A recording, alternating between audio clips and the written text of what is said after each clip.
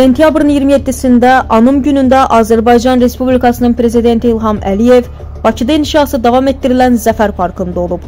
Dövlətimizin başçısı parkın girişində xatirə daşının önünə gül dəstəsi qoydu.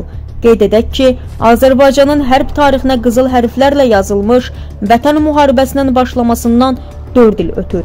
Xalqımız Azərbaycanın ərazi bütövlüyü, Qarabağın azadlığı naminə canından keçmiş vətən övladlarının xatirəsini ehtiramla yad edir.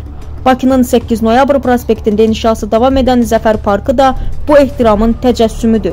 Prezident İlham Əliyevin 2020-ci il dekabrın 3-də imzaladığı sərəncamla inşası davam etdirilən layihəyə əsasən torpaqlarımızın azad olunması uğrunda tarixi qələbəyə gedən yolu, vətən müharibəsində qəhrəmancasına döyüşmüş əskər və zabitlərimizin, bütün şəhidlərimizin xatirəsini yaşatmaq məqsədi ilə kompleksin ərazisində Zəfər muzeyi də yaradılır. Muzey kompleksində vətən müharibəsi şəhidlərinin hər birinin adı həkk olunacaq.